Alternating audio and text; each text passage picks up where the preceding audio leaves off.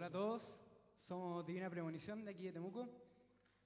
En la guitarra Anthony Martínez, en el bajo Nicolás Carrillo y yo en la batería Joaquín Sánchez.